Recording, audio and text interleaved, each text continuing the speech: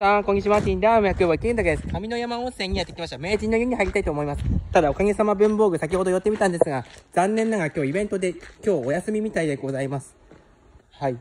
おかげさま、文房具、ここ、ここ屋です。行きたかったのにしょうがないです。ここ名人の湯でございますね。はい。では早速名人の湯に入りたいと思います。将棋と勇者、いろんなクラブがあります。それでは温泉に入りたいと思います。温泉最高でございます。上の山温泉、本当にいいもんですね。はい、以上です。バイバイ。